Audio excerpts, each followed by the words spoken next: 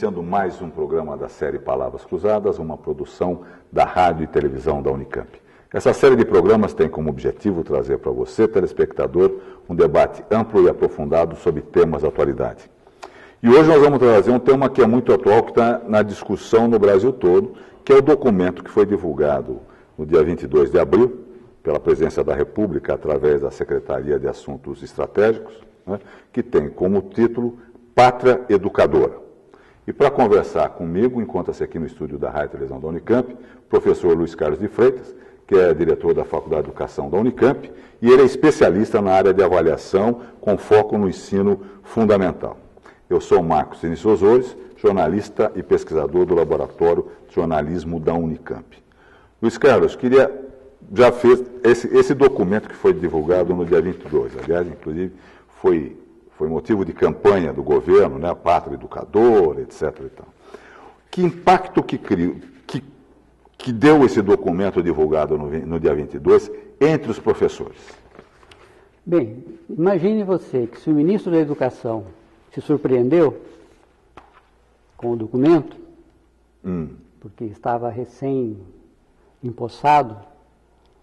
Bem, para o restante. O senhor entendeu? O ministro não sabia desse documento? Não, porque ele tinha sido empossado dias antes. Sim. Né? E quem tratou dessa questão junto ao, à Secretaria de Assuntos Estratégicos foi o ex-ministro Ciro Gomes. Ciro, Cid Gomes. Cid Gomes. Cid Gomes.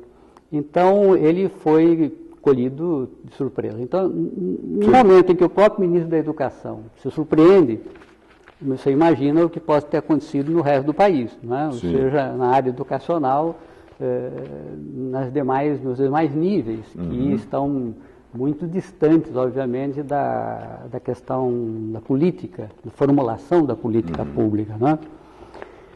Bem, eh, o documento causa surpresa por várias razões. Uhum. Né?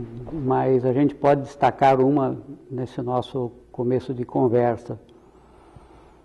É, ele é construído de costas para tudo que se acumulou em termos de política pública hum.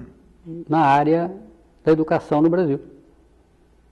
Onde é que as, as, as políticas públicas negociadas, as políticas públicas eh, são tratadas, formuladas, construídas democraticamente. Né? Uhum. Nas conferências nacionais, nas várias áreas eh, da política. Né? Tem a Conferência Nacional da Saúde Sim. e também tem a Conferência Nacional da Educação. Sem dúvida. Né? Então, ali, eh, em 2010, 2014, houve um grande esforço do próprio governo, do próprio Ministério da Educação, né? junto com entidades da área do, educacional. Quais são as né? principais entidades ouvidas? A, a ANPED, que é a Associação Nacional de Pesquisa e Pós-Graduação, hum. Né? É, a ANFOP, Associação Nacional pela Formação dos Profissionais da Educação, Centro de Estudos Educação e Sociedade, Associação Nacional de eh, Administração eh, e Gestão da Educação, a ANPAI, enfim, isso no campo científico, né? é, para citar algumas. No campo sindical, você tem a, a, a Confederação Nacional, Nacional, dos Trabalhadores, o CNTE, né? que é a Confederação Nacional dos Trabalhadores em Educação, você tem a CONTE, que é da área do ensino privado, você tem, enfim, é, a Andes, você tem uma série de entidades, entidades que, que tem uma tradição de acompanhar a política pública, de estudar, de produzir pesquisa, como é o caso das entidades científicas. Né? E você também é, pode imaginar que no mundo contemporâneo é, a formulação de política pública ela é, não pode mais continuar sendo feita sem uma base mínima que seja de pesquisa. Não é? O governo gasta bilhões, bilhões com, com as universidades, não é? com o financiamento da pesquisa, Sim. e depois chega na hora de fazer a política pública, se você não tem uma mínima base na pesquisa, é? você fica com uma política frágil, uma política baseada em autores não é, eh, que, que de repente se colocam numa posição de dar conta Sim. de todas as facetas da educação, não é? Uma área complexíssima como é a, a educação. É que a educação também não está isolada, né? Está dentro de um país, Pior- um contexto econômico, um campo pior social, ainda, né? né? Pior Ela é um ainda. pouco mais complicada do que a educação em si mesmo. Pois é. Ela não tem um fim em si mesmo. Pois é. A educação é feita para algo fora dela, não é Pois é. isso? Ou seja, é muito Então. mais complexo. Nós estamos diante de organizações que em si, como educação, já são complexas. Uma escola que você tem aí, se você visitar uma escola aqui no bairro, aqui, você vai ver que ela é uma organização complexa Sim. e ela está inserida numa política pública de um município, de um estado, do país, ou seja, é algo eh, que é assunto para você tratar. Sim, porque a primeira coisa que o projeto pesquisa, do, né? do Mangabeira Unger fala é justamente de um, de um projeto nacional de educação, né? de um É. Uhum. currículo nacional de educação.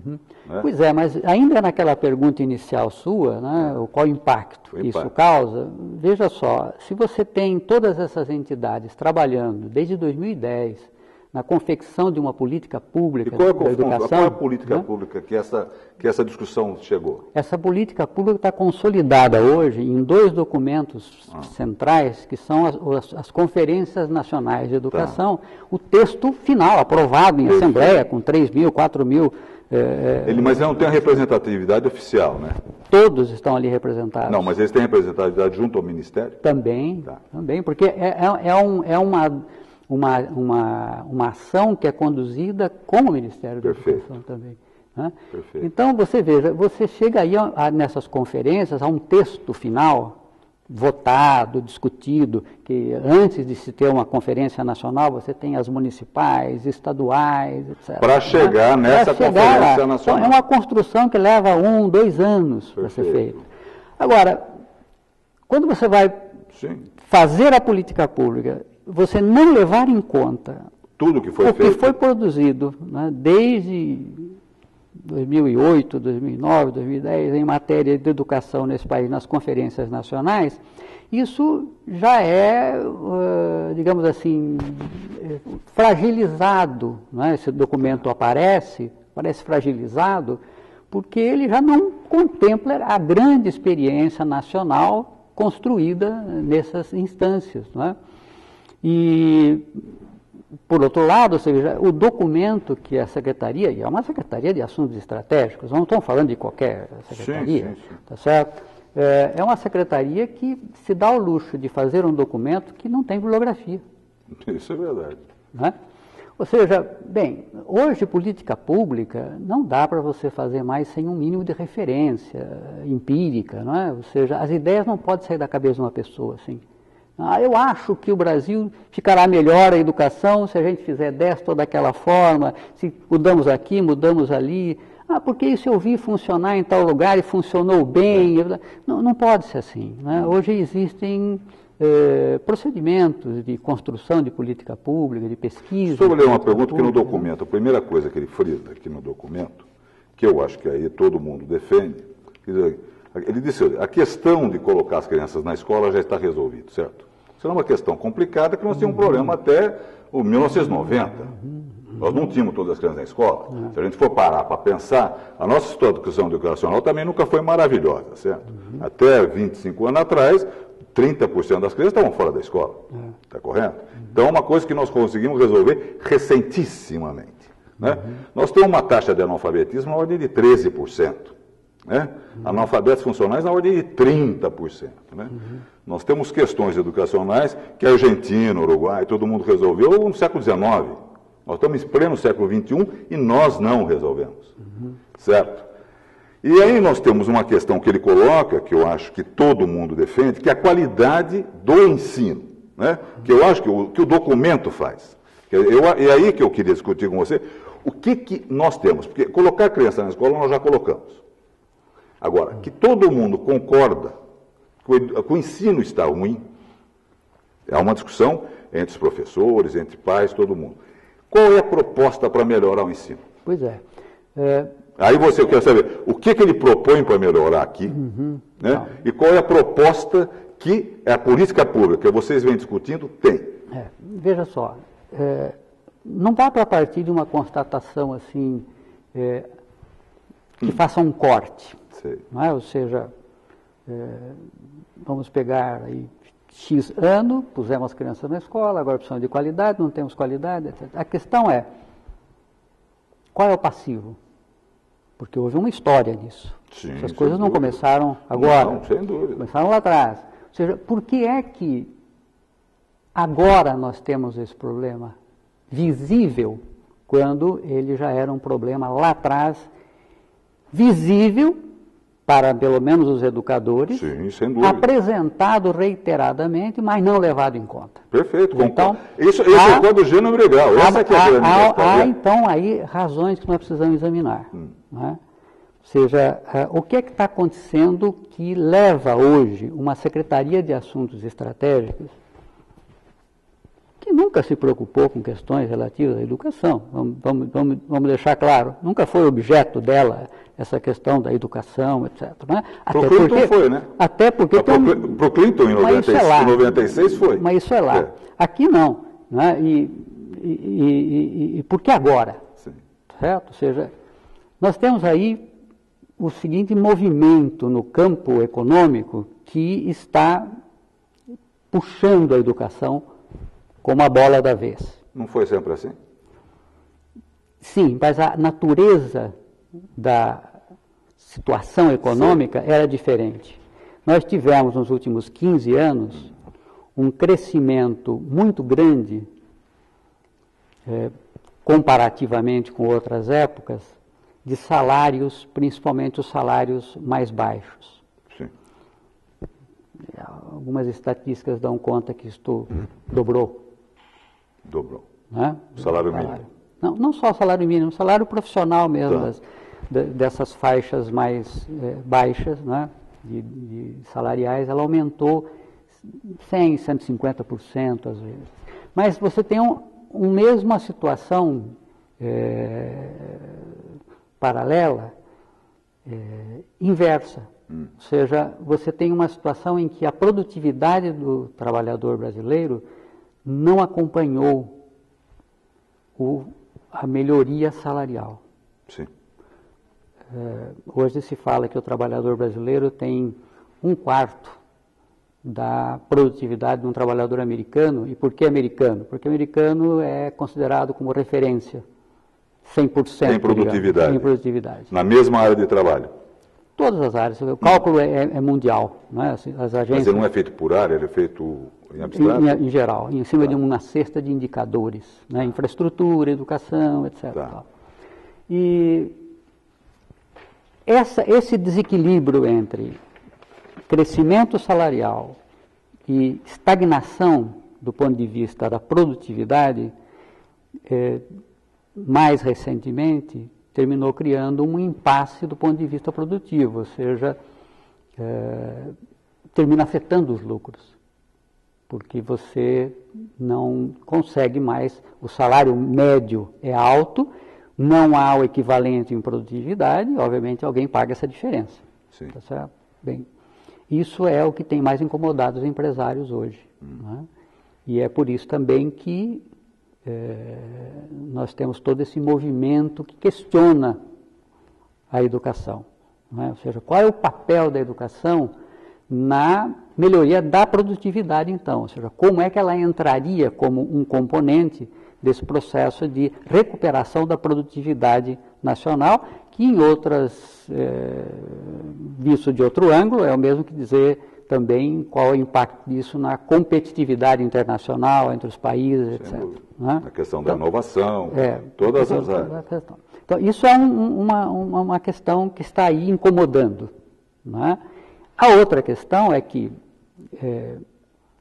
para você mexer com o- esse desequilíbrio de salários e crescer em produtividade, você teria também que, no médio prazo, depender da educação, formando um maior número de quadros técnicos Sim. porque você sabe que quanto maior o número de quadros técnicos, quem faz o salário, obviamente, é quem contrata. Mas Na tem uma medida- coisa só- que é o só seguinte, os indicadores têm mostrado, por Só, exemplo... eu só concluir a, a- a ideia. Então veja que eh, essa, essa questão eh, da produtividade hoje é o grande incômodo, não é? Porque você pode é, melhorar essa produtividade com um ajuste fiscal, um ajuste econômico, é? criando desemprego e, obviamente, derrubando o salário médio, porque mais desempregado, menores salários. De fato, de maio, de, nesses três, quatro primeiros meses, o, o salário médio nosso caiu 1,8% já, né? e na, na comparação de, com outros meses, 5%. Sim. Então, você tem aí uma questão de queda de salário médio, de imediato, mas que tem que ser acompanhado por uma ação na educação, como um dos componentes que gera a produtividade, o cálculo da produtividade, de médio prazo, colocando no cenário eh, econômico mais profissionais, de tal maneira que você não tire a economia de uma situação de quase pleno emprego, porque uma economia de quase pleno emprego é uma economia de altos salários médios. Médios Sem dúvida. Mas certo? essa é uma economia, essa é uma economia inovadora. É, né? Coisa é. que o Brasil não tem essa inovação. Mas é a nossa então, realidade essa hoje. é a nossa realidade. Não, mas como mas várias empresas, só, só recuperar uma coisa. Quando o governo, esse mesmo governo que está aí, há anos atrás, que faltava engenheiro. Que, porque quando você tinha um crescimento econômico, quando estava indo, estava em pleno emprego, faltava profissionais. Exatamente. E continuam faltando continua profissionais. Faltando. É isso mesmo que eu estou dizendo. A questão, o que continua é que continua faltando engenheiro. Também. Então não é questão só para baixar salário, é que continua faltando engenheiro no mercado. É, mas ao mesmo tempo, se você, se você for ao mercado, você vê muito engenheiro desempregado fazendo outra Sim. coisa. Ou seja, na realidade, isso é uma. É uma, é uma Sim, mas isso em qualquer lugar do mundo, assim, é, né, Pois é, exatamente, é o que eu estou dizendo. Ou seja, é preciso ter um parque de pessoas formadas não é, para você poder contratar é, é, aqueles que realmente são necessários e você tem, de fato, a ampliação do número de formandos como um coadjuvante da queda de salário médio. Porque, obviamente, se eu tenho só um para contratar, ele faz o salário. Se eu tenho 20 para contratar e só vou contratar um, eu faço o salário. Sim, sim. Então, essa relação é o que tem motivado no mundo inteiro a corrida para a questão da produtividade e para a questão da educação também. Os americanos estão nisso desde 1983, tá certo? Nessa, nessa guerra, é? lá com outros fatores. Né? Com outros fatores. Mas aqui para nós, esse, esse fenômeno se apresentou mais recentemente de uma maneira mais clara. Né? Então, essa corrida para a educação, de repente, todo mundo, oh, porque educação, porque educação. É, sim, mas tem um passivo aí. Quando não tínhamos essa situação, a educação não era procurada e nem enfatizada e nem valorizada. Porque analfabeto nesse país não começou, a, a, a, começou agora. não começou agora. Exatamente. Nós já tivemos taxas maiores Sem até. Dúvida. Tá certo? E não incomodava ninguém. Por que, que incomoda agora? Bom, incomoda agora porque bateu na produtividade. Tá certo? Então, há essa corrida e aí vira assunto de uma Secretaria de Assuntos Estratégicos mesmo. Porque como é que faz? Nós precisamos ter competitividade internacional, nós precisamos eh, ter produtividade no, no país, etc. E, bom, não vamos tendo. Bom, a, o equívoco aí é achar, primeiro, que produtividade depende só de o educação. O equívoco você vai falar já já. Nós temos que fazer um breve intervalo. Nós voltamos já já com as palavras cruzadas de hoje, que eu estou conversando aqui com o Luiz Carlos Freitas, de Freitas, que é o diretor da Faculdade de Educação da Unicamp. Nós voltamos com o nosso programa, já já, que tem como título hoje Pátria Educadora.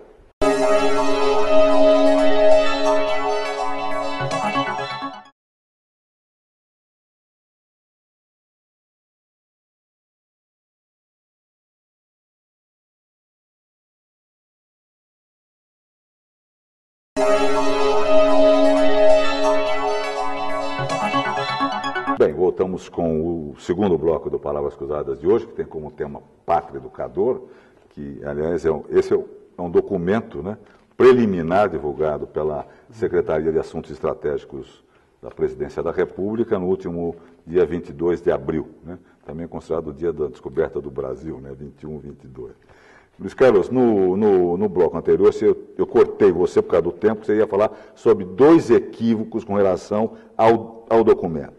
É, é, veja, o equívoco é, é, é, a gente achar, não, não, era em relação ao documento, documento bem sim. que eu estava me é. referindo, mas há um equívoco que existe no Brasil de achar que os problemas educacionais eles são recentes. Sim, né? não são. E eles é, são produto de, que, de, de, desleixo dos educadores. Sim, sim. Quando, na realidade, a política pública brasileira ela é, não se envolveu com uma estratégia adequada, é? porque também não era, digamos, uma demanda econômica, é? e com isso ela criou um passivo. Qual o problema aí? É que quando você se defronta com um passivo como nós temos na área da educação, e Deixa quer resolvê-lo. É esse passivo? esse passivo é exatamente o descuido sucessivo, histórico de inúmeros governos que não deram atenção no investimento necessário, na solução dos problemas necessários na área da educação. Isso gerou um passivo. Por que, que não deu atenção? Porque não era uma motivação, não tinha uma motivação Sim, econômica concordo, forte para isso, que agora tem. Quando aparece a motivação econômica forte agora, produtividade, toma essa questão da educação como se tivesse tudo corrido muito bem no país ao longo dos, dos, do, do, dos últimos 50 anos, não é? e que o que, o que precisamos agora é uma medida de Sim. impacto, não é? um documento que vai resolver, que vai, vai resolver o atraso todo que foi gerado pelo descuido das políticas públicas anteriores. E aí surge uma tentação, que é isso que o documento do Mangabeira eh, do professor Mangabeira contém com muita clareza. Ou seja, surge a tentação da é, solução mágica. Sim, isso da medida, da medida. O documento vai salvar a eh, educação. Salvar a educação, porque eu tenho aqui um conjunto de ideias que, se a gente fizer, etc. Primeiro, sem bibliografia, sem pesquisa, baseado. Não, eu, né? eu, eu, tem uma coisa que me chama a atenção no documento, aproveitando esse gancho que você está falando, que eu nós vivemos uma federação, certo? Onde que você tem o governo federal, governo estadual e governo municipal. Está correto? O ensino básico normalmente está nas mãos do, do, município. Tá, não é perfeito? É isto, né? É. O município é que detém o ensino é. fundamental, né? Como que o governo federal pode atuar, quer dizer, você está falando, que foi esquecido ao longo desses anos todos. Uhum. Não houve uma política efetiva para esse ensino fundamental. Uhum. Tá certo? É. Como atuar? Como é que o Estado, eu quero que você explicasse para o telespectador, como é que o Estado atua? Vamos dizer, ele quer melhorar o ensino fundamental, mas está na mão do município. Claro. Como é que ele melhora? Então, veja só, é... discutindo o documento. Né? Perfeito. Né? Qual é a proposta do documento? Porque diz que é, no documento ele diz que é fácil, né? É. Veja, a lógica que está por trás do documento é que o governo federal praticamente realiza uma intervenção. Com o dinheiro, do, escala, com dinheiro do Fundeb, né? Com dinheiro, né, com sacos de dinheiro do lado, né? mas tudo opcional, viu? É, é tudo, tudo opcional. opcional. Só que o saco de dinheiro está aqui do lado e para você acessar esse dinheiro, você tem que optar por. Ou seja, é, isso é uma estratégia que foi usada a exaustão dentro dos Aonde? Estados Unidos, né? É, é, e que em 2001 se configurou na Lei de Responsabilidade Educacional Americana, No Child Left Behind, né? hum. do, do, Bush filho ainda. Né? Tá. Né? E, e, ela tem uma, uma filosofia. A filosofia é, é esta, ou seja, a ideia de que o governo federal se transforma num grande, num grande Big Brother, que tem um sistema de avaliação Nacional. Nacional, que tem uma base nacional comum é, obrigatória e definida. Então, ele diz o que ensina, avalia, e quem ensinou, ele dá dinheiro. Quem não ensinou. Em cima dessa avaliação. Em cima dessa avaliação, em cima dessas, dessa, desses resultados que vão sendo. E isso é a avaliação que faz em cima com os alunos, com as, com os, com os com as crianças. Com os estudantes. Entendi. Então, você veja, os americanos usaram isso à exaustão. Eles chegaram ao grau agora no, nos Estados Unidos em que o, o, parte do salário de um professor é paga em função dos, dos resultados dos Mas alunos o, o, o, texto do Mangabeira também propõe isso aqui, né? Não, ele não chega a propor. Não chega, mas essa... ele cita que isso pode ocorrer. Quer dizer, se as escolas bem avaliadas, pode melhorar o salário mas, do professor. É, mas, é, é, digamos, ele não, não, não, formula isso na forma de valor agregado, como os americanos o, o definiram lá. É? É, então, veja que a filosofia desse documento é inaceitável, porque ela vem da onde? Ela vem de uma área, que é a área dos negócios, onde você incentiva pela liberação de recursos. Seja, claro, você tem um vendedor de carros, você pode pagar um bônus para ele se ele vender mais carros ou menos carros, além do fixo que você paga para ele. Mas isso não é uma lógica boa para a educação, porque na educação, é diferentemente do mercado, você não pode ter perdedor. No mercado é natural você ter ganhador ou perdedor. Na área da educação, só pode ter ganhador. Então, essa lógica importada dos negócios e da mercadológica, ela não funciona na área da educação. E você tem até mesmo eh, pessoas importantes na área eh, da economia no Brasil. privadas da elite funcionam. Não, mas isso é outra coisa. Estou falando de ensino público. Estou, é, é? tem, Estamos falando de ensino público, exatamente. porque são lógicas diferentes. Né? Lá já é ensino privado, tá certo? Lá já é negócio. Aqui tá também. Então, Aqui é também tem grandes escolas que são grandes negócios. Né? É, mas não públicas. Né? Não públicas. Então, veja que há uma, uma questão aí que é essencial entendermos a lógica disso, porque esta lógica tem nos Estados Unidos mais de 20 anos, e que consequências ela produziu o que lá que ela dentro? deu? Né? Zero. No PISA, que é a principal avaliação, o Programa Internacional de Avaliação de Estudantes, da OCDE, Isso que não deve ser entendido como uma, uma avaliação é, é, insuspeita, tá certo? Mas que, enfim, é referência. Os americanos, Mas ela é acreditada bem, ela é acredita, bem, bem Olha, tem, um, tem recentemente um grupo de 80 pesquisadores fizeram uma, um manifesto questionando o PISA em várias áreas, inclusive nas consequências que ele geram dentro dos países. Né? Então, não, não, é tranquila essa questão. Tá. Há problemas, inclusive, no campo amostral, lá que precisam ser examinados. Tá certo? A questão das amostras, como elas são definidas, etc. Mas, enfim, se você pegar o desempenho americano no PISA, você vai ver que desde que o PISA foi instituído, mais ou menos 10, 12 anos, os Estados Unidos estão no mesmo lugar, na média do PISA. Eles não avançaram nada nos últimos 10 anos no PISA. Se você pegar o equivalente à nossa prova Brasil lá dentro dos Estados Unidos, que é o NAEP, você vai ver que em alguns eh, anos ele é pior do que 1972. Então, esta política dentro dos Estados Unidos hoje é muito contestada é mantida porque ela gerou um mercado de aproximadamente um trilhão de dólares. Tá certo? Mercado. De, como que funciona esse mercado? Privatização da educação pública, na forma de vouchers e na forma... Funciona na forma do OS, só para entender. Mais ou charters, menos isso, né? Aí são as charters schools. São as charters, charters é, que ficam nesse sistema que é pago pelo dinheiro público, mas privado. É um tipo de ONG. Exato. Né? Então, e, e gerou um mercado de avaliação e consultoria brutal. É? Então você tem aí quase um trilhão de dólares nesse mercado anual que mantém essa política e esse enfoque aí eh, presente nos Estados Unidos. Né? Mas ele, em termos de consequências práticas, medidas mesmo dentro dos padrões clássicos aí, é? de, de avaliação, você não tem repercussões que significariam transferir aquela lógica para cá. Ou seja, no entanto, você tem um país como a Finlândia, que não usa nada do que os Estados Unidos usa, inclusive não tem avaliação do sistema educativo, só vai ter aos 18 anos avaliação no sistema educativo externa na, Finlândia, e que é a quinta, sexta do, do PISA. Então veja que estas ideias que estão no documento do Mangabeira, elas não são condição para você melhorar a educação. Não há nenhuma garantia disso.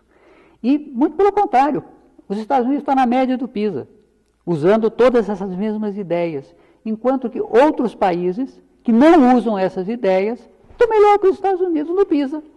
Estão melhor internamente, né, quando existem, né, comparativamente, nas suas avaliações. Qual é a filial aqui no, no, no, na América Latina destas ideias? Chile. Chile. Sempre foi.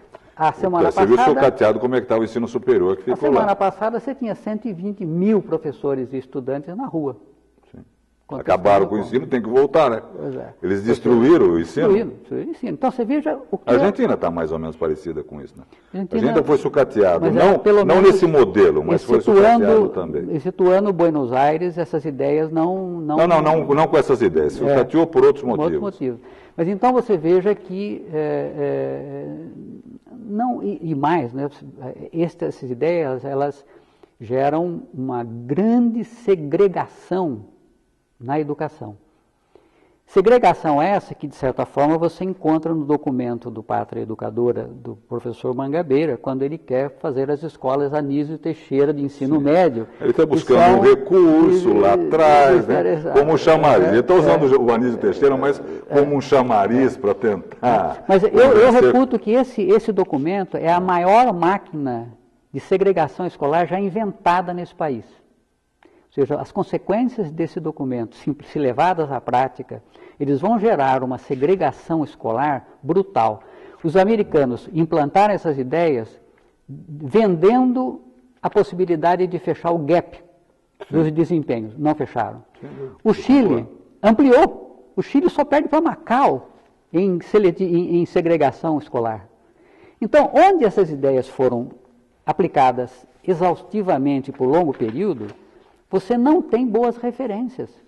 Elas não produziram uma, uma, uma grandes efeitos eh, Não, na qualidade da educação. Eu concordo com, com isso que você está falando. Tem uma coisa que realmente que ele fala que todo mundo fala, independente do o professor Mangabeira escrever aqui ou não, isso é o que você vê o que está ocorrendo no mundo. Né? O jovem, que você vê, que todo mundo discute, eu também tenho dúvida, só estou falando que a gente lê em todo lugar ele tem que ter uma formação mais genérica do que específica. Uhum. Né? Ele tem que estar aberto para outras ideias. Tanto é que você vê que presidentes de grandes grupos multinacionais, os que eles chamam de CEO internacionais, têm um, a, primeiro começou várias mulheres serem CEOs. Você vai ver a formação, o que, que o cara? O cara é filósofo. Ele não quer um engenheiro na presidência da grande multinacional. Ele quer um filósofo, ele quer um politicólogo, ele quer um sociólogo. Tá certo? que tem um papel de, das sinapses do mundo. Uhum. Né? Então, isto eu acho que é uma coisa que está no documento, que isto é uma realidade do mundo. Né? A pergunta que eu faço para você, o que, que as nossas escolas, e se isso é levado em conta ou não, este mundo novo que nós temos a partir das, das TIs, né? como é que a gente educa um jovem? Tudo bem. Essa é uma discussão, é outra discussão. Não, é outra. Eu tô dizendo, é? Ele está aqui não é, é, porque ele esteja no documento. Essa é, é uma discussão que ele levanta e que é realmente, esse é, uma, uhum. esse é um grande ponto da educação. É, é verdade. Como é que se lida com isto nos tempos atuais? Uhum. Então, é, acho que a, a, essa questão precisa ser analisada primeiro se ela vale para todos os níveis de ensino. Não é? Porque os seus exemplos são de nível superior. Não, superior. São, ele, ele, diz do, inferior. Eu vi, por exemplo, já, já li, e você também já leu, de várias experiências norte-americanas. Já li, inclusive, de uma professora mandar tirar todos os computadores da sala de aula. De uma escola decidir, porque dizia que aquilo atrapalhava a alfabetização das crianças. Está certo? É, mas situando esse, esse é grande extremos, né? situando esses extremos. casos extremos, é, nós aqui estamos falando de educação fundamental, básica, Sim. não é? Essa, essa preocupação ela é mais, digamos assim, presente quando você atinge o ensino médio, onde você começa a ter a possibilidade é de alguma especialização. Eu li essa semana passada, uma, numa dessas revistas, uma coisa completamente louca, dizendo que você está contratando treinadores para crianças de 5 anos para ser líderes. Não sei se você chegou a ver isso. Pode, mas isso são os exageros, não é? é. Ou seja, é, é, é, essa é a frene, o, o frenesi o, que está chegando da, da, da, né, da, preparação. Não estão deixando crianças, as crianças serem né? crianças. Não, não estão. E, e, e essa é uma outra preocupação com essas ideias Exatamente. também. Exatamente. Pergunto... Porque elas terminam antecipando a escolarização e, aliás, isso é um dos efeitos é, nefastos dessas políticas dentro dos Estados Unidos. Você imagina os relatórios que saem das pré-escolas americanas Sim. dão conta de que os jogos material para jogos na, na, nas escolas, nas pré-escolas, desapareceu. Porque você antecipou a escolarização e as crianças estão envolvidas agora em aprender o inglês, em aprender a matemática, etc., antecipadamente. Isso joga contra até a ideia da inovação, porque você tem nessa faixa etária a necessidade de uma série de exercitações que facilitem o desenvolvimento da criatividade. E a arte é melhor para isso, os cuidados relativos ao corpo não é? são melhores do que a matemática. deixa eu só lhe fazer uma pergunta, que é a tua área. Quando a gente era criança, eu e você, nós entrávamos na escola aos sete anos de idade. Né? Antes disso a gente brincava, empinava papagaio, bolinha de gude, andava de bicicleta na rua, etc. Eu não sei se havia uma teoria dizendo que a nossa cabeça só estaria pronta aos sete anos, né? Diziam os psicólogos na época, essa coisa do pensamento abstrato, uhum. etc. E, tal. e hoje eu vejo que antecipa e estão alfabetizando as crianças aos três anos, indo de encontro com o que você está falando. Isso é benéfico ou é prejudicial? Prejudicial, não é? porque exatamente pelo que eu estava lhe dizendo você tem uma situação em que você antecipa a escolarização que deveria acontecer depois de seis anos. A minha pergunta, ela né? consegue aprender direito ou ela só está repetindo? Olha, é, do ponto de vista biológico, né, é, é, certamente haverá restrições, porque ela se encontra em formação, é um organismo Sim, em é. desenvolvimento, né? E aí, há, dependendo da teoria que você escolha para interpretar essa fase, você vai ter sérias é, implicações para uma, uma, uma, uma, educação dessa ordem. Não é? É, os especialistas podem falar melhor sobre isso, eu não tenho essa, essa qualificação. Mas certamente do que eu ouço deles é, é altamente não recomendável, inclusive há que se fazer uma ação junto aos pais, porque os pais, inclusive, pressionam nessa direção. Exatamente. Né? Para que eles entendam que eles não podem retirar da criança o direito a de ser fase criança. da brincadeira. Perfeito. Né? Porque se eles retiram isso, eles estão prejudicando, inclusive, a própria prontidão, o próprio desenvolvimento é, constitutivo da, da, da criança. Né? Então, isso é extremamente preocupante e é um efeito dessas políticas que terminam antecipando a escolarização no ensino fundamental. Né? Nós vamos encerrar esse bloco. Nós voltamos já já com nossas palavras cruzadas de hoje, que tem uhum. como título Pátria Educador. Eu tenho o prazer de receber aqui no estúdio da RTV o professor Luiz Carlos de Freitas, que é o diretor da Faculdade de Educação da Unicamp. Nós voltamos já já com o programa.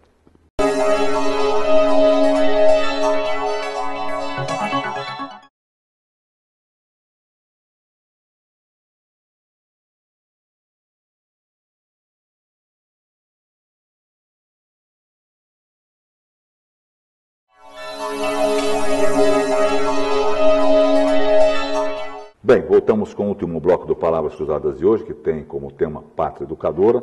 Eu tenho o prazer de receber aqui nos estúdios da RTV o professor Luiz Carlos de Freitas, que é diretor da Faculdade de Educação da Unicamp. Lembrando que o Luiz Carlos é especialista na área de avaliação com foco no ensino fundamental. Luiz Carlos, voltando ao nosso documento, ao tema do nosso programa aqui, que é o documento divulgado pela Secretaria de Assuntos Estratégicos da Presidência da República, uma, uma das questões polêmicas que ele diz, Joaquim, é a base nacional comum. O que, que é base nacional comum? Tá certo. Bem, nós já caminhamos para o final, é, é preciso uma advertência. Né? Nós passamos aí por várias questões, né? e, é, e dentro do, do, da dinâmica e do uhum. tempo que dispomos, a gente é levado a fazer certas simplificações. Sem aí, dúvida. Né? Para poder dar uma, um cenário, cenário da sem situação. Dúvida. Né? Mas, obviamente, documento ele é, fala de quase é, tudo. Né? Mas obviamente tratar. que muitas das questões que nós examinamos aqui, inclusive no ponto de vista econômico, são muito mais complexas. Muito mais isso, complexas, né? sem dúvida. E mereceriam uma discussão muito mais detida. Sim. Mas no, no âmbito que nós temos, digamos assim, uma pincelada geral para se entender um pouco as objeções que fazemos uhum. ao, documento. Né? É, é, essa questão da base nacional comum, né? vamos, vamos analisar um pouquinho isso aí. Esses movimentos todos chegam no Brasil sempre eh, transferidos de outros países. Então, nesse momento, você tem uma grande discussão também americana sobre base nacional comum lá. Tá? E, e com as mesmas implicações daqui. Uhum. Né? Então, ela, ela, é uma preocupação que não é, não é brasileira. Né? Ela é importada junto com essas, esse pacote de ideias que está dentro do documento do professor Mangabeira. Bom, né? Lembra que o professor Mangabeira dá aula em Harvard. É, pois é. Ele sabe muito bem de como a educação americana transitou por essas, é, por essas ideias, aplicando essas ideias. Né? A base nacional comum, ela, na realidade, é um currículo nacional. Isso. Né? Que pretende é, colocar, como se diz, uma base de referência para é, o que se ensina nas escolas. De tal maneira que uma preocupação justa. Uma escola não pode ensinar algo e outra não. Sim. não é? Nós temos que chegar a um acordo sobre aquilo que nós deveríamos ensinar numa certa idade, é? para uma determinada faixa etária que fosse, né, e, e, para determinados níveis da escola. Isso, isso é legítimo, essa preocupação em nós termos uma referência. Uhum. Qual é a discordância que aparece? Uhum. Para construir uma referência, o, o principal elemento que deve nos motivar é uma discussão do que é que nós entendemos que seja uma boa educação para o jovem brasileiro. Nós temos que colocar-nos de acordo com relação a isso. Se eu não sei, né, ou se eu não desenvolvo o entendimento que nós devemos ter de, do que considerar uma boa educação, uhum. eu fico fragilizado e termino aceitando como critério de boa educação mudança de médias de avaliação. Então, quanto, qual é a média que você tinha? Ah, eu tinha uma média de 300. Foi para 320. Ah, então melhorou a educação, porque era 300, agora a média é 320. Mas quem falou que isso é boa educação? Quem falou que 330 é uma, boa é uma educação, educação, uma boa educação, melhor do que de 300, tá certo? Tá bom, eu posso entrar com outros dados, eu posso fazer uma análise para ver quantos saíram eh, do básico e, foram para o avançado, ou do básico para o proficiente, ou o que estava abaixo do básico melhorou, foi para o básico. Eu posso fazer essas análises, mas isso tudo é muito pobre. Isso tudo é feito para efeitos de política pública, mas não para efeito de decisão pedagógica, de constituição do que deve ser a educação de um país. Porque aí o referencial é qual é o projeto de juventude que nós temos. Qual o projeto nós temos no Brasil para o jovem nosso? Passar no Enem? É, é, é esse o, o, o, nosso, o, o nosso projeto para o jovem? Quer dizer, tem que ter um pouco mais que isso. Pode ser até passar no Enem. Tá bom. É, mas é, não pode ser só isso. É ser um trabalhador é, polivalente. Tá bom, pode ser isso também, mas não pode ser só isso. O que eu entendi e você falou que é um currículo mínimo nacional, me fez lembrar que se dizia que o Napoleão chegava e olhava. Na França são 10 horas, em todas as escolas francesas está se ensinando matemática nesse exato momento. Né? Às 10 e meia todo mundo vai aprender geografia, né? vai aprender latim, vai aprender história antiga. A nossa educação primária foi copiada do modelo francês lá atrás. Né? Nós éramos mais ou menos assim. Né? Então você dava esse instrumental para que todos tivessem na escola pública, que eu você estudamos, né, o mesmo fundamental para poder competir no mundo. É. Né? Uhum. E a minha pergunta é essa. Lógico que essa discussão, a gente comprou essa discussão, você estava falando, qual a proposta de jovem? Né? Eu acho que uhum. a discussão é assim, qual é a proposta do jovem que nós queremos? Pra, é, o que, que nós queremos, o que, que nós queremos com esse jovem? Ele tem que competir aonde? É, seja, ele vai competir no mercado capitalista, perfeito, perfeito. aonde que ele tem que ser o melhor para poder arrumar emprego. Como bom, a gente faz isso? Eu te pergunto. Tá então, isso é uma parte da, da resposta que nós teríamos para a pergunta o que é uma boa educação. Porque não é só uma educação para a competição, não é?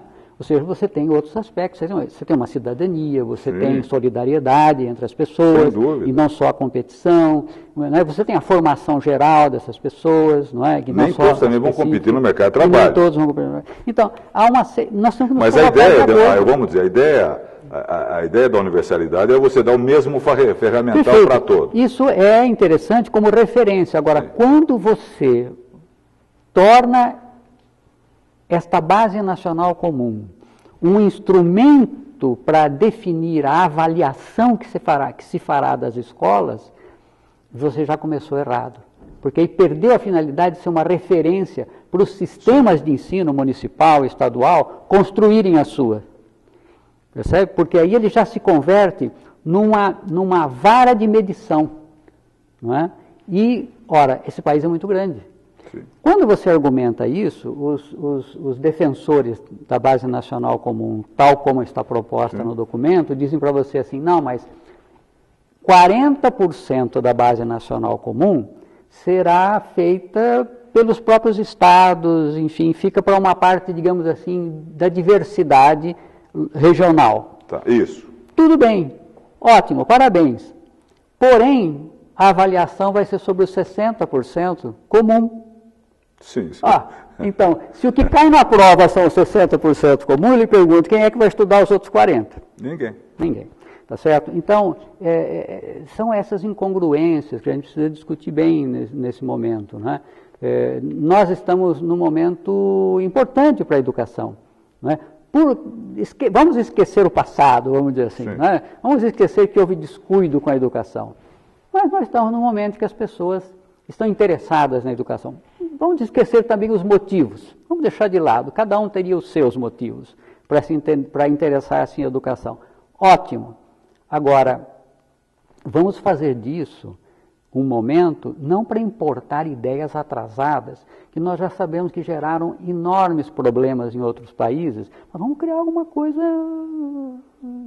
Tupiniquim boa. Boa. Né? Vamos, vamos, vamos pôr nossa criatividade, vamos Sim. usar a nossa pesquisa, as nossas universidades. Né?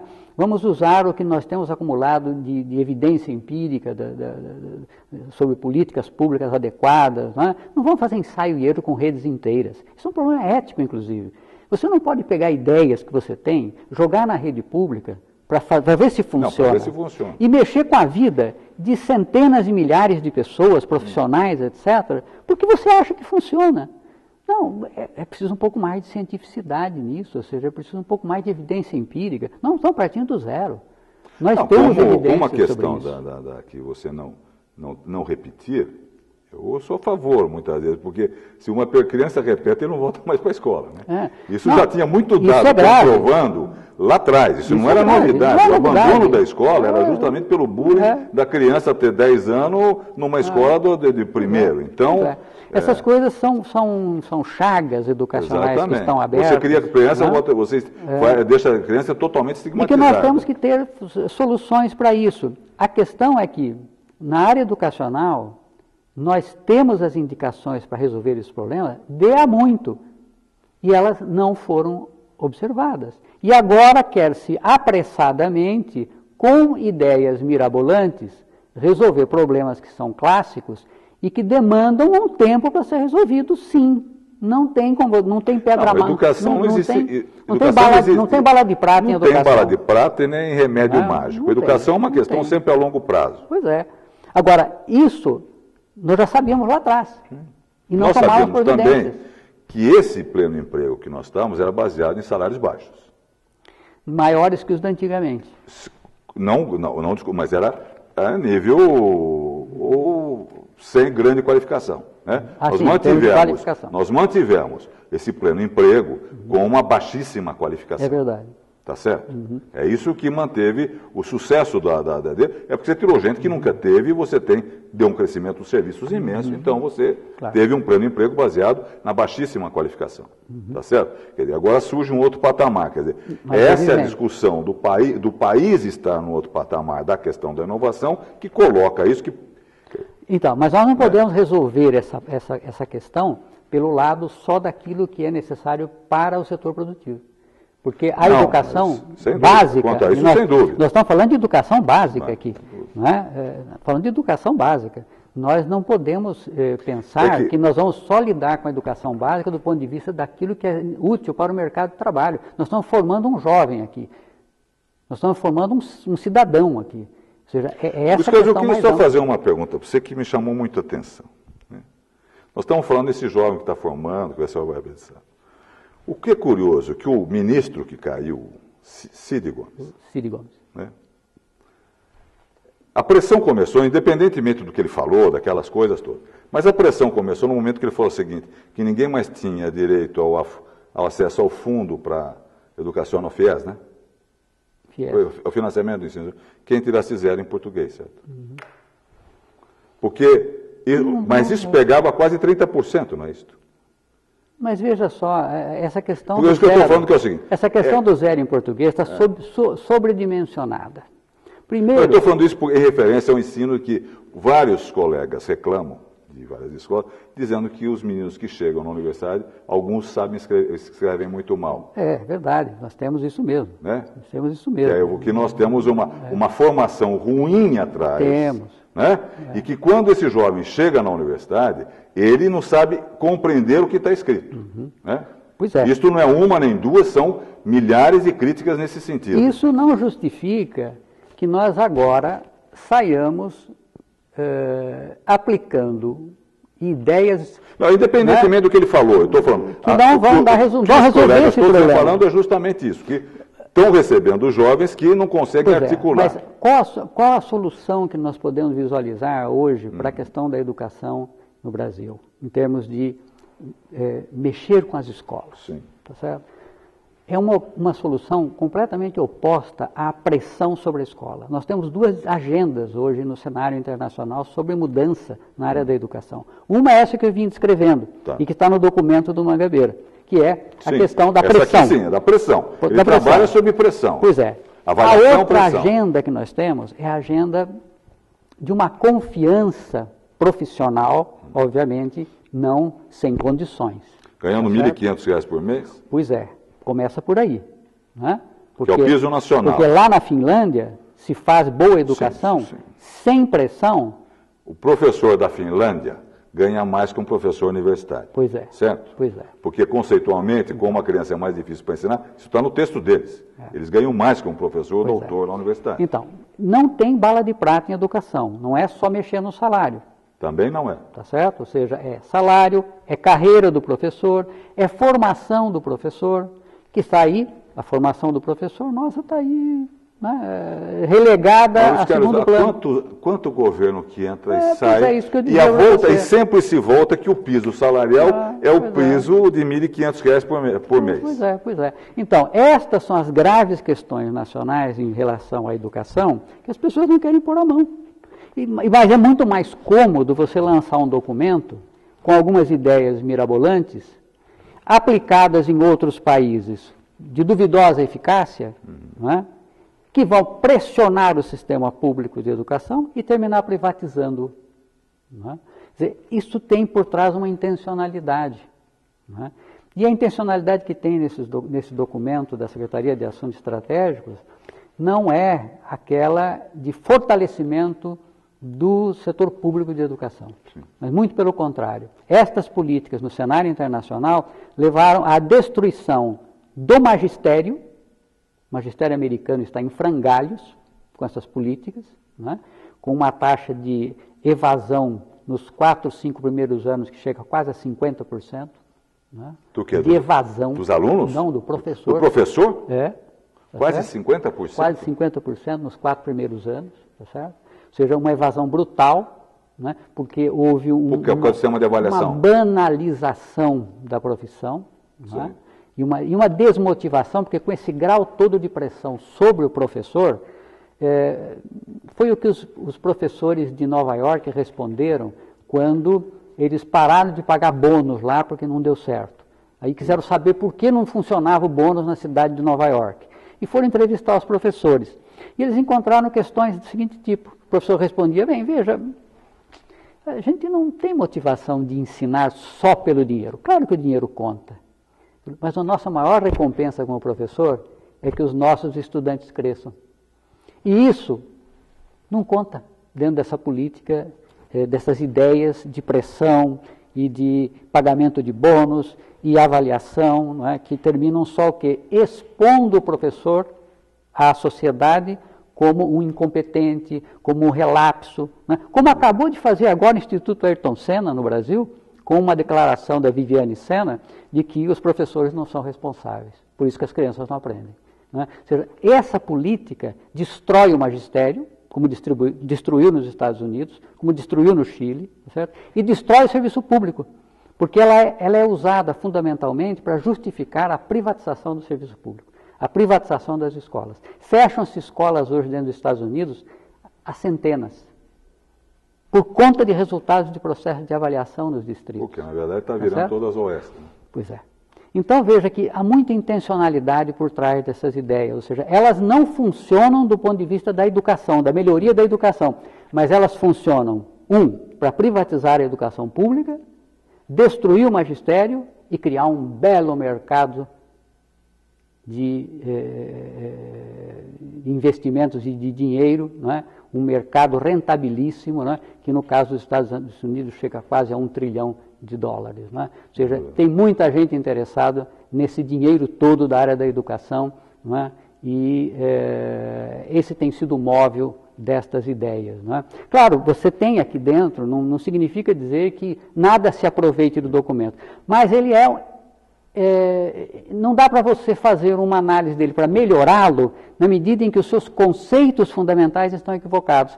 Tem algumas ideias que você até poderia aproveitar, mas como os então, conceitos tem ideias genéricas que é, fazem ideia de é. qualquer é, projeto educacional projeto. de qualquer mas país. Mas a, a, ideia central dele, não é? ou seja, a ideia da política pública de pressão, quando ele propõe, por exemplo, Sim. trocar até demitir diretor de, de diretor de, de, de escola, escola etc. Essa, essa ideia da que a pressão produz resultados essa ideia é equivocada em educação, foi testada nas políticas públicas, não dá resultado e no Brasil, se nós entrarmos por essa linha, nós vamos ter outra década perdida. Luiz Carlos, foi, foi bom conversar com você. Infelizmente, nosso tempo acabou. Queria agradecer a sua Eu presença que aqui, que nós ficamos, falamos sobre o documento preliminar aqui, a Pátria Educadora, né, divulgada pelo Ministério de Estratégico da Presidência da República que esse documento ainda vai dar muito o que falar. Né? Porque ele surgiu como, na verdade não é um documento, nem está implantando nada, é, uma, é um debate né, sobre essa necessidade de mudar a educação. Né, que ele propõe mudar para enfrentar esse século XXI. Eu acho que o século XXI tem que ser enfrentado mesmo. Né? Ah. Que a gente, que todos concordam que a educação tem que melhorar, acho que isso é negável. Né? Hum. Mas temos que procurar os caminhos e os caminhos através do diálogo. Perfeito. Muito obrigado, Luiz Carlos, e até o próximo Palavras Cruzadas.